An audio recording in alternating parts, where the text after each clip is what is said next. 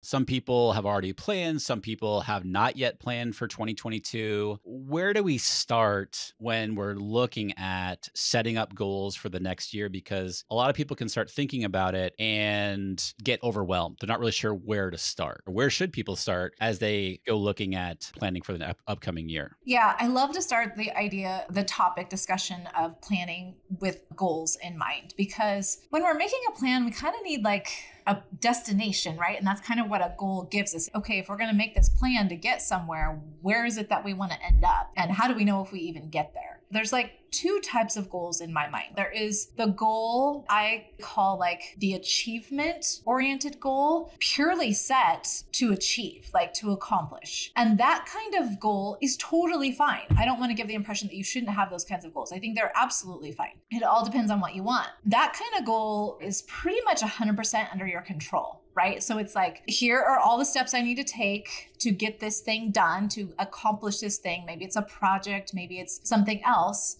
I will either do it or I won't. It's like not dependent on anyone else, really. It's either you do it or you don't primarily we set those just to get something done, to accomplish something, to achieve something. So there's that kind of goal, that category of goal. And then there's the other one, which is a goal that is not set to be achieved. Many people listening would be like, wait, what? Why would you even set such a goal?